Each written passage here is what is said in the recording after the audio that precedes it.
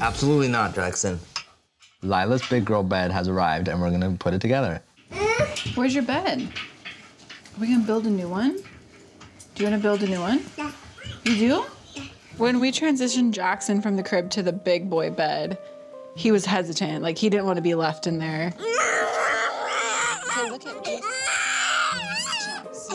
Oh. But then he was fine. Like the first night, he was hesitant for like the first 15 minutes, and then he was fine.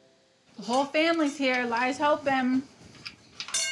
I still think she's gonna struggle a little bit. Yeah, bit. she's gonna struggle. Yeah. I think once she can figure out, like, oh, I can just get up and leave, I think she's gonna just get up and leave.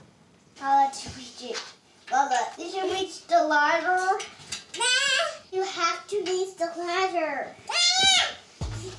Jackson, I think, is at an age where he loves to help, but he, there's just so much that he's just not helpful. You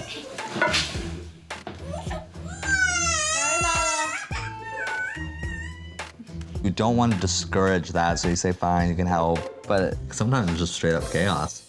Lilah, go sit with Jackson. Jackson, sit on the mattress. No, no, no, no. Put it down. Put it down. Sit on the mattress now. Are you okay? One of the kids needs to transition out of this like toddler. Which Jay, Phase. Jay is like, he's transitioning. Because I don't know, three kids under five, five and under is gonna be uh, ooh. Being pregnant and making a bed is like the most annoying thing. Yeah, don't you have an appointment coming up? I do. Next week, yeah. Well, no, this next appointment. I, I don't, I thought we would know last appointment, so honestly, I don't know anymore. But I'm saying, if it's all measuring right on track still, can we say it's probably ambrotype? Maybe.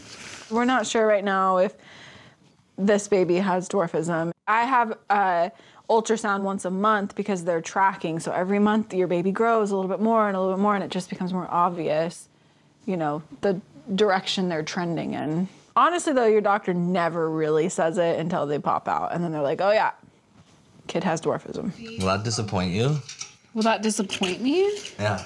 I was all about having that dwarf tribe. Um, I think it would be kind of fun to have one average height kid.